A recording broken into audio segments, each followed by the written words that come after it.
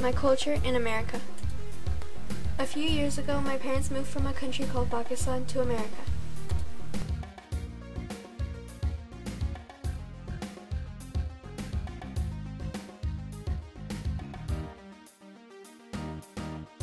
I was born here in the United States.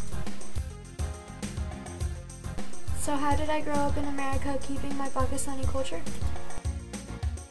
Most importantly, I practiced my religion called Islam. Every Sunday I would go to a place where I worship called a mosque. I would learn about my religion and the importance of it.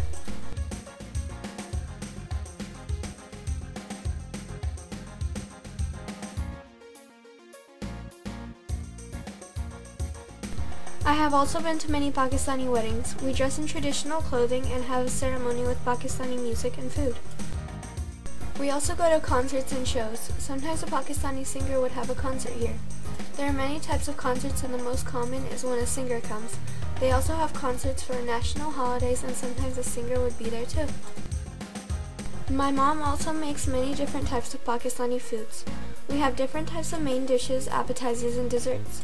My favorite food is called a samosa. It's a fried bread with either vegetables or meat inside.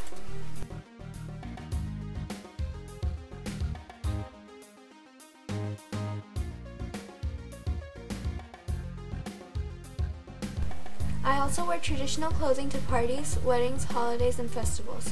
There are many different types. This is called a peshwas. There are clothes for women and for men.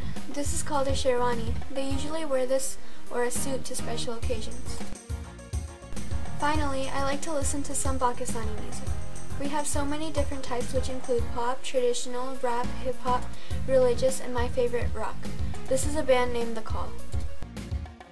We celebrate a holiday called Eid. It celebrates the end of the month of fasting called Ramadan. First we go to the mosque, then we visit each other, eat good food, and give and receive gifts.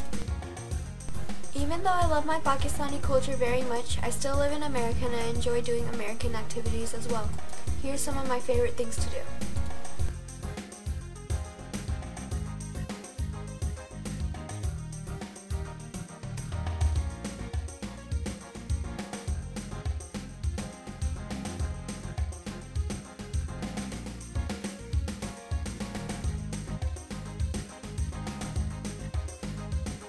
Both my cultures are very important to me and I hope to keep them close to me for the rest of my life.